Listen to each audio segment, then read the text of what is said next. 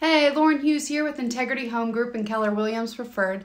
Let's talk appraisal gap and what in the heck that means and why we're even talking about uh, an appraisal gap. So, as many people know, in the Colorado area, we are in a seller's market and the market is really tight right now because we have a lot of home buyers and very little inventory. So, we have low supply, high demand. And so right now there's a lot of homes that are on the market. Sellers are having a dream market right now because they're getting into bidding wars or buyers are getting into bidding wars and offering more than the list price.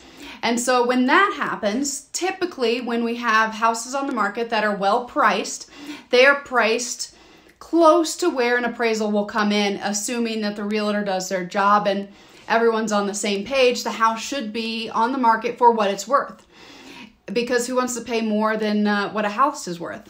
But then again, let me get to that appraisal gap. So, but when we get into these bidding war situations, which is very common, actually, homes are going for on average above their list price right now in Boulder and Denver.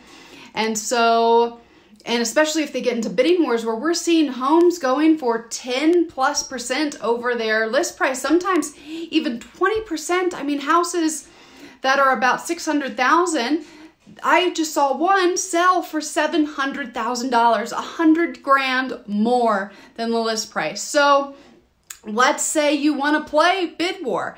I personally, I'm not a bidding war kind of person. I'm a I'll find something else kind of person and I'm not going to do it because if my ego gets involved, I'm going to win and that really means I'm going to lose.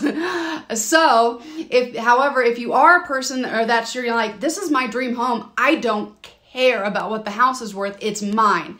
And you get into a bidding war situation, a lot of offers now have to include something called an appraisal gap, which means the home buyer is on the hook if an appraisal comes, let's say your house is a half a million dollars. The appraisal uh, or and the offer is 550 because you got into a bidding war with 13 other people and you're going to win. Now you're offering 550. That appraisal comes in at 500,000. And typically we would negotiate down and say, well, the house is only worth 500,000, let's reduce the price. Not in this market.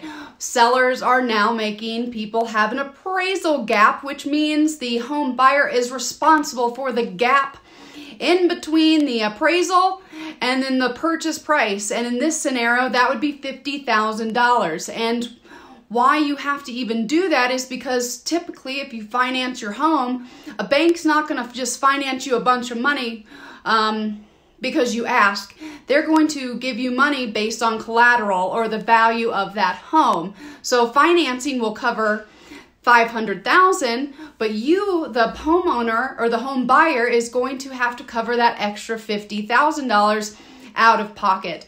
And that is what they mean by an appraisal gap. So it is a tight market out there, so be careful. And if you find that dream home and you don't care about the resale value or you assume appreciation is going to take care of it, that is one heck of an assumption. However, more power to you for finding your home. So if you guys have any questions on why more like more terms that we're seeing now because the market is a little crazy right now and so we're throwing out terms that I would say aren't standard or normal. I mean they're normal now, but historically speaking appraisal gaps aren't big. Now they're huge. So if you have any questions, I'm always my door is always open and I'm always willing to help. Thanks guys.